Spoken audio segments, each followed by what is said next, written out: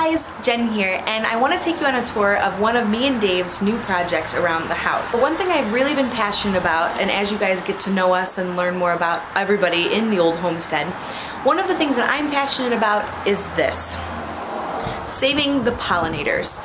And saving the bees is important, and just as important as that is saving the monarch butterflies. So I'm sure we all know what monarch butterflies look like. We know their familiar patterns and markings and colors.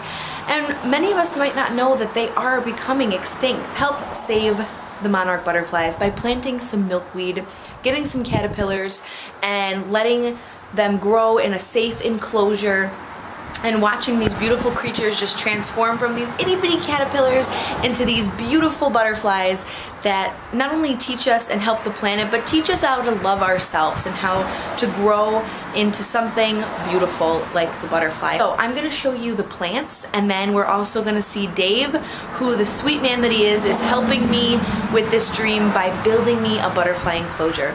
So let's take a look at the plants and then we will go into how to build a butterfly enclosure. Okay, so here we are. We're growing a lot of different plants in here, but these little guys back here are the milkweed. Look how tall this guy is. So we got a couple different kinds in here. There are different kinds of milkweed plants, but here we kind of got a mix of seeds and we're going to see how they grow. And they're growing pretty well. So once we're done with the potting stage here, we're going to take them, plant them into the ground in our enclosure, and then I'm going to go look for some butterfly caterpillar, monarch caterpillars to buy.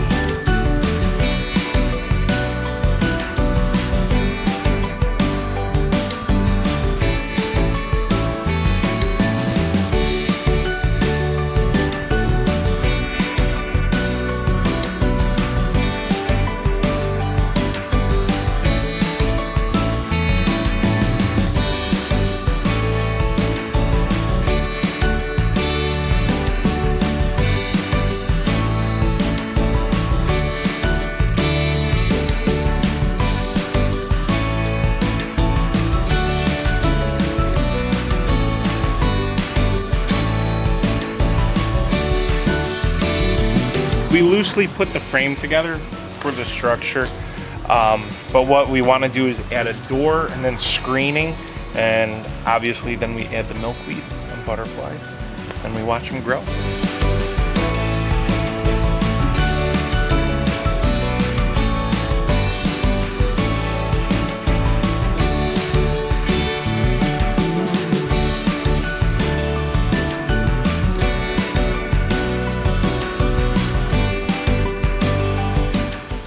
Okay, the little guys are ready to be planted. Look how big they got.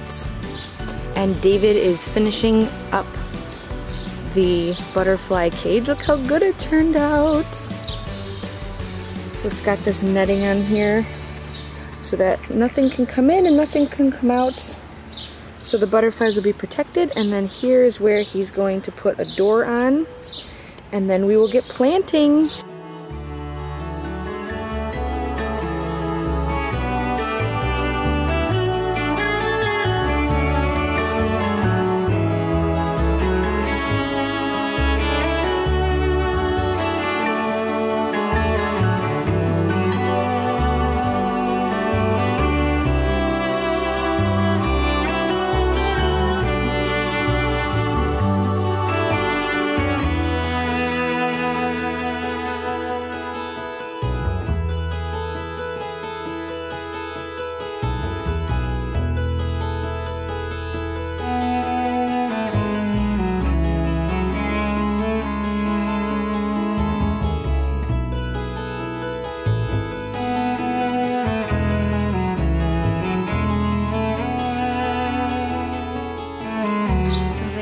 It. We have our first butterfly enclosure.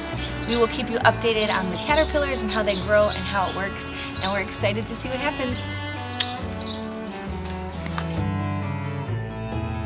If you would like to help save the monarch butterflies, please visit one of the websites we have in the description below.